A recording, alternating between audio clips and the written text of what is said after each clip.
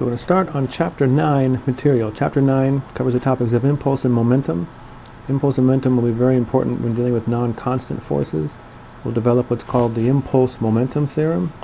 Uh, and from this we'll develop what is one of the most important uh, concepts in physics, which is the conservation of linear momentum.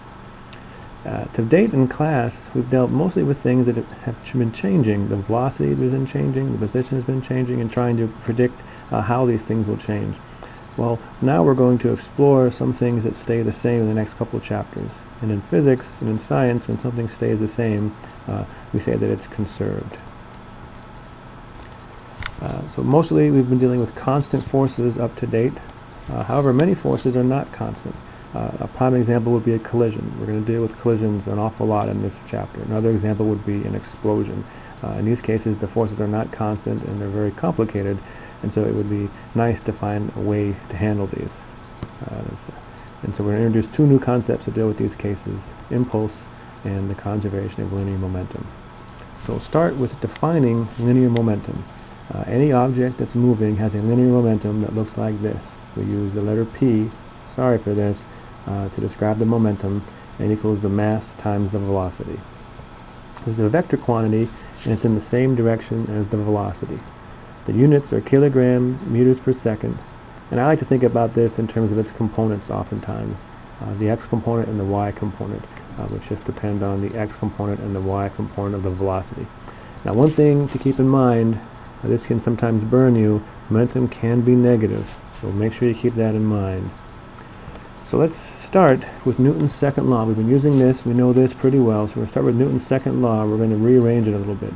So we're going to start by our knowledge that the acceleration is the first derivative of the velocity. So we're doing this in the x direction, and so over here uh, there would be dvx over dt is the definition of the acceleration. If I multiply both sides by a dt, I get an equation looking like this here, m dvx fx dt. And whenever you have uh, these differential elements on either side, you can integrate. And so here we're going to integrate this over some time period all right, from t initial to t final, and from v initial to v final. If we integrate this side, all right, this is not too bad of an integral, you're just integrating over dv. And so you get, uh, on the left-hand side, just the difference in momentum, the change in momentum. So that's why we're talking about momentum. Uh, on this side, you get this integral over here, f dt.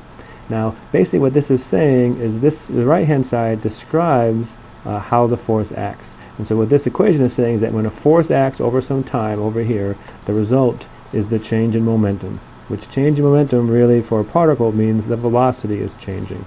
And so that's really just what we're saying with F equals ma. So we're just really literally rearranging this, right? If a force acts, we have an acceleration. Acceleration means you change your velocity. So now we're going to look and, and, and study this uh, impulse momentum, this, this equation down here, which is the impulse momentum theorem, this guy down here, a little bit more in depth. We're going to start by looking at this right-hand side. So to look at the impulse a little bit better, it's kind of nice to look at a graph. So here we have a, a plot of force versus time, and here's the actual plot for a non-constant force. So you can see that it starts uh, pretty close to zero at the beginning, uh, it peaks at some point, and it comes back down to zero again over some time, delta t. So This is a non-constant force. And what we're going to do is define the impulse to be j sub x. So the, the impulse is the uh, in the x direction is this right-hand side of the equation we had on that last slide. All right, so it's the integral f dt uh, over some time period. Now for us, in physics 131, what this really means to us is that the impulse is the area under the force versus time curve. So just this area in here, if we were to fill all this area in uh, underneath the force versus time curve, that would be what the impulse would be. Okay, so we're not going to do too much in the way of dealing with integrals outside of that. Now, another way to think about this is to think about what we call the average force. And so here we can say that, all right, so the force starts at 0, ends at 0, and has some peak in the middle, uh, but overall there could be some value we define here, say, as the average force. And we set this up so that the impulse is the same. So the j sub x is, is, the same as this complicated integral looking thing here. And it just makes it a little bit easier for us to work with. And so we can deal, since this force is constant, we deal with the average force. All right, so we're going to do that a lot. And so this is the average force times the time interval. The units of the impulse are force times time, which gives us newtons times seconds. If you work this out, you get the units of kilogram meters per second, the same units that we have for momentum. So writing out this new equation we have in its most compact form, it looks like this here. The, uh, the impulse equals the change in the momentum. And we can expand it out a little bit using our definition of the impulse in terms of the average force, and then just the definition of momentum, and do it one more time. Uh, we'll be careful. This should be a vector here. There should be a little arrow here, not a little sign like that. Uh, and so this is our uh, impulse momentum theorem. This is a vector equation, and so it has different components. And so here's the x component and the y component. And again, the idea here is that if a force acts over some time, the result of this is a change in the momentum, which of course, in this case, for a particle, is a change in the velocity. It's just very similar to F equals ma. Another way to think about it is writing out like this. So again, we say that this is the x component, jx equals delta px. That's the difference in the momentums. Now if we rearrange this equation a little bit, we get this here. And what this says is that if I have some initial momentum and due to some interaction with something, an impulse is added on, this j sub x, you add the momentum in the impulse and you get the final momentum. Okay, so momentum after an interaction, like a collision or explosion, equals the momentum before plus the impulse that comes from this interaction. So that's a handy way to think about the impulse momentum theorem. Let's do an example. So maybe pause the, the movie right now and try this out and we'll talk about this when you're done. Okay, so hopefully you gave this a try uh, and the answer comes out to be C. Let's go through this slowly and see how this comes out. Uh, so first of all, I like to draw a picture. Uh, and so in this picture here, we have a 0.14 kilogram baseball comes in at 48 meters per second. That's about 100 miles per hour. Uh, the bat acts on the ball for a certain time period and then we say that the ball leaves headed right for the pitcher with a speed of 38 meters per second. So we're trying to find the magnitude of the impulse that the bat imparted on the ball. And so in my picture, we'll call positive x direction to be that way. And we'll say that the initial case, so here I'm circling the initial case, the velocity of the ball comes in at negative 48. Again, this is just basically the way that I defined it. Uh, and then the final case, it, it, hits off going back towards the pitcher with a speed of positive 38. So you have to be real careful about the signs here, like I was saying earlier. So if we take these two pictures, now we can use our impulse momentum theorem. Uh, so J equals delta px. And we write it out uh, this way here. We're trying to find the impulse in this case, so we'll leave that on this side of the equation. And we fill in what we have here. So our final information and our initial information. And again, the key here is that these two negative signs are going to cancel. So it's really important. Okay, this negative sign over here with the 48 was very important. If you forgot that, you would get the wrong answer. Uh, when I do this, I come out with this uh, an impulse of 12 kilogram meters per second. Now, a follow-up question that is oftentimes asked for something like this is, okay, so what is the size of the force then? And to do that, we use our alternative definition of the impulse. That It's the average force times the change in time. The problem actually gave us the change in time as 2 times 10 to the negative 3 seconds. And so we get that in this case here, which, you know, keep in mind we use typical uh, velocities for a baseball, so the average force of this bat was about 6,000 newtons. Now let's give this one here a try. So here we have a problem, uh, 2 kilogram object moving to the right with a speed of 0.5 meters per second experiences the force shown in the graph what are the object's speed and direction after the force ends? So take this, uh, go ahead and pause and work on this, and then we'll come back and talk about it. Okay, so the answer I get here is D. Let's look at this one. So again, we use our impulse momentum theorem, and now we're going to wrap it around because what we're solving for here is we want to find, uh, in a sense, our final momentum, our final information. We want to find the final velocity. And so we set this up, and so the key here is how do we find the impulse? Well, okay, we have a few different ways to define it. One way we talked about is that's the area under the force versus time curve. And so if you look over here, I'm shading in roughly uh, the area of the force versus time curve. So it's a box of height 2 meters uh, and width 1 half of a second. And so if we figure that out, the impulse is 2 times a half, or 1 newton seconds. Again, that's the way to talk about impulses in units of newton seconds. Uh, so if I plug this in, it's 1 newton second, it's the impulse, plus the initial momentum, which is the mass of 2 times 0.5. And what we get then is we get 2 newtons per second as the final momentum. Now momentum, remember, is just mass times velocity. So we divide this 2 newtons per second by the mass, which is 2 kilograms. We get a velocity of positive 1 meters per second out of this equation, the way we defined everything. So let's look at, uh, we have our alternative way to write Newton's second law. So I'm going to start with this new equation over here, which is an alternative way to write Newton's second law. This says that the force net equals the first derivative of the momentum with respect to time. And I'm going to call this equation 1. Now if we take this and plug in our definition of momentum, we get something like this here. Now, we're going to assume that this is an object that's mass cannot change. So if the mass cannot change, it's not affected by the derivative and it can basically hop out of there. And so we get that the force net is equal to the mass times the first derivative of the velocity, and the first derivative of the velocity is the acceleration. So lo and behold, we get F equals ma. All right, I'll call that equation 2. So essentially, if the mass is not allowed to change, equation 1 and equation 2 are equivalent. So this is just a new way uh, to write Newton's second law. And in fact, this is the original way that Newton wrote it uh, back when he wrote it. So let's take this and see that we get an interesting result from this. So F net equals dp dt. Well, let's think about what happens if F net is 0. If F net is 0, we get this equation over here. Uh, the first derivative of the momentum equals zero. Now what does that mean with, with respect to time rather? Well what that means is if the, the derivative of momentum with respect to time is zero, the slope of the p versus t curve is zero. And so that means it doesn't change. It's just hanging out steady. Uh, so it's conserved in this case here. So what we're saying is that when the force net is zero, the momentum doesn't change. Another way to think about this is we can oftentimes write derivatives like dp over dt with little delta signs like here to understand it a little bit better.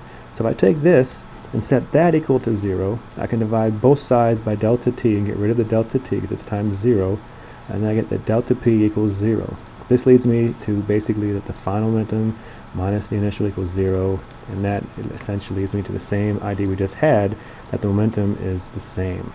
So when this net force equals 0, all right, we get that the momentum does not change, or it's conserved. Now, this makes sense, hopefully. All right, when no forces act on an object, there is no change in momentum. For just a single object, that's pretty boring, right? We know that there's no acceleration, uh, there'll be no change in velocity. So there's no forces, there's no acceleration, no change in velocity, pretty boring. Uh, however, if we consider a whole system, we can find that this is a very useful idea. And by a system, we just mean a group of objects that interact with each other. It could be anything. It could be a bunch of billiard balls on a pool table. It could be the air in the room. Okay, there's a group of objects that interact somehow with each other. Now, when we talk about a system, we can define two different kinds of forces, internal and external. An internal force are forces that objects within the system exert on each other. So, for instance, we pick the air in the room as our system. This would be the, uh, the force of different uh, molecules of air bouncing off of each other. And an external force is forces exerted on the objects by agents that are external to the system. So, in our example of the air in the room, this would be the wall exerting a force on the air particles.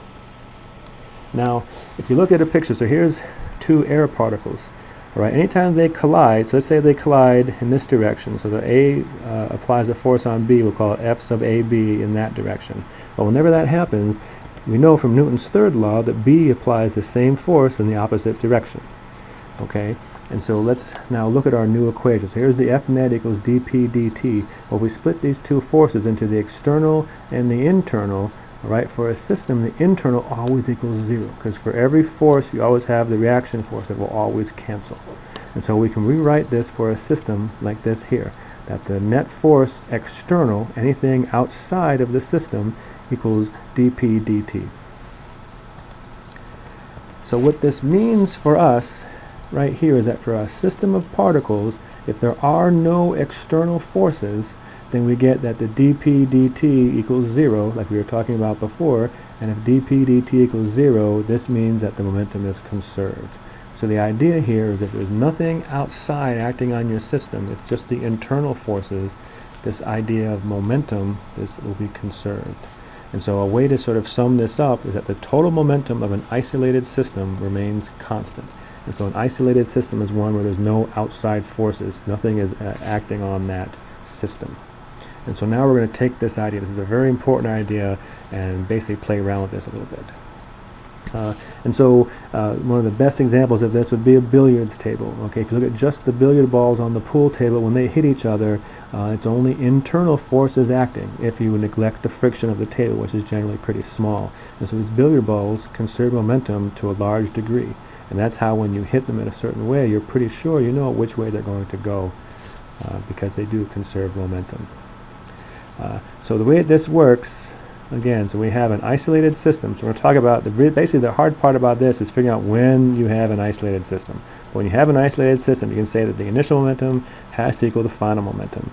You can write this out as basically the sum of all the momentums of everything initially equals the sum of all of them finally, right? The sigma sign just means a sum.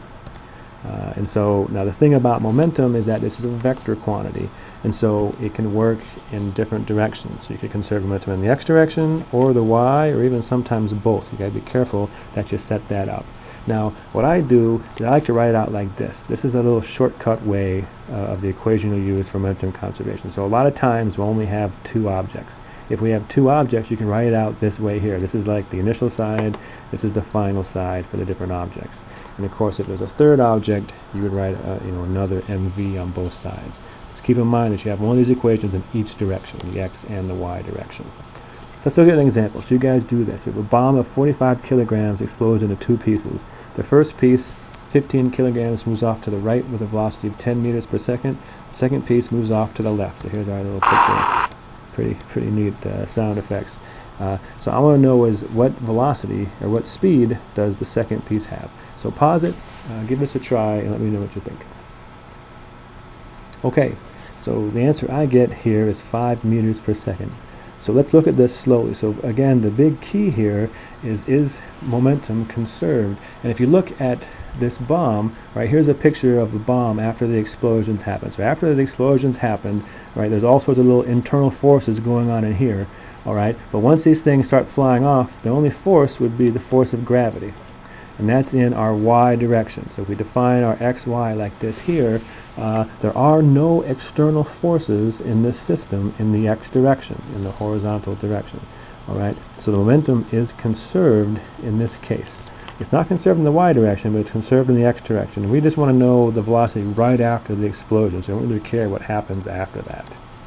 Okay, so momentum is conserved in the y direction because no forces act on the bomb pieces except internal forces. So this is the hard part, is figuring out exactly when you can use this equation. So if we do this, here's our little handy-dandy equation. Now, the momentum initially is zero. The bomb isn't moving at all initially, so it's just zero momentum initially. Uh, afterwards, the piece of 15 kilograms goes off positive 10 meters per second. Again, we're defining the positive direction to be in the right. And we know the other side goes off 30. Uh, it's got to be 30 kilograms because the total was 45. we need to find the velocity. And so we arrange this around with some algebra, bring the, the 30 to the other side of the equation, uh, and then basically solve for this. And if we go through and solve for this, we get negative 5 meters per second. Now, the problem asks for the speed, so the speed would be 5, but the actual velocity would be negative 5 in this case here. Uh, and so what's happening is the momentum has to be conserved. It starts zero, and so what happens is whatever the momentum goes off in the other direction, the other guy has to have that same momentum in the opposite direction. So it's 15 times 10 in the positive direction. It's going to got to be 30 times negative 5 in the other direction in order for momentums to be canceled out and be totally summing up to zero again. All right, and so just to end off here, we're going to look at an example of what can be kind of tricky is when momentum is conserved in two different directions. Okay, and so when that happens, you basically have these two equations, one for the x direction, one for the y direction. And so our problem looks like this. We have a gray hockey puck initially with a velocity of 10 meters per second. It collides with a green hockey puck, which is initially at rest. And then we're given the information about the two hockey pucks. The green puck is seen to go off at an angle of 35 degrees above the x-axis. The gray puck comes off 55 degrees below the x-axis. We want to know is what's the velocity, or I'm sorry, we're also told that the velocity of the gray puck is 5.73. We want to know is what is the velocity of the green puck. So assume the pucks have the same mass. So we look here at our bird's eye view. Now, these are hockey pucks, so they're on ice, and so there is no force in the x and y directions uh, on them. Okay, there is no friction or anything like that. So momentum is conserved uh, in both directions, the x and the y. So this is on ice, and so there's no friction, and so there's no external forces in any direction. Now, this is a collision, and one thing to keep in mind is, so this is really important. This stuff, we just did an example for an explosion, an example for a collision. Okay, momentum is almost always conserved in a collision and an explosion, even if there are outside forces sometimes, because generally those are so tiny that they're much smaller. But these two examples, it's pretty crystal clear that they're both conserved. So the way we do this is we go through and uh, set up our equations and use this momentum conservation. So we'll start here uh, with the initial picture. So initially the puck comes in with a velocity of 10 meters per second. So this puck is 10, uh, this puck is 0. Uh, and this would be in the x direction. Notice that there's nothing initially in the y direction.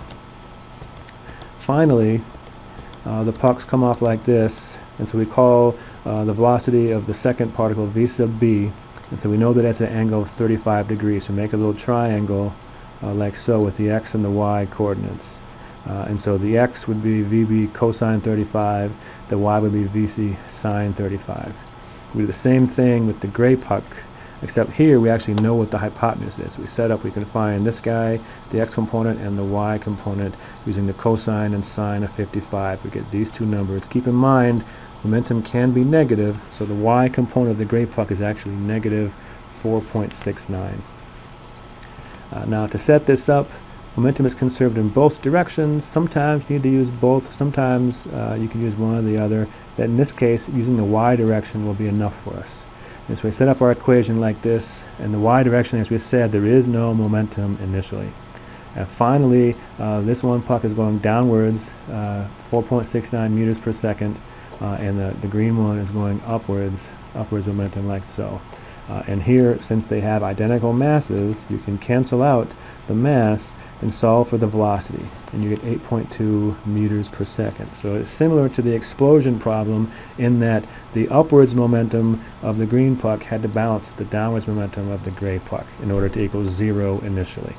Now in this case, that's all you needed for this problem, but it's nice uh, to go through and just show that it works in the other direction. So in the x direction, initially uh, this puck wasn't moving, the green one was, uh, and afterwards we have their information finally. And if you plug in the new velocity of 8.2, you get that basically these two things are equal.